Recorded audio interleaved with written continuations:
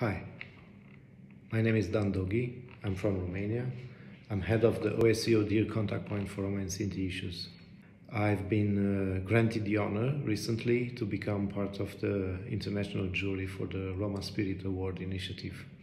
I look forward to meet all contestants and nominees in person in Bratislava. A few words about uh, Roma spirit. Roma people uh, lived on the fringes of society uh, throughout the centuries. Um, their history was uh, marked by um, uh, exclusion, forced assimilation, forced deportation, centuries of slavery, and uh, they've been also victims of the uh, Holocaust during the Second World War.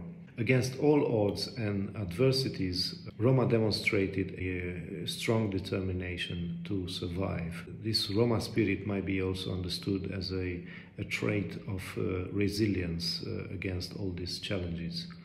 However, nowadays, uh, surviving is not enough.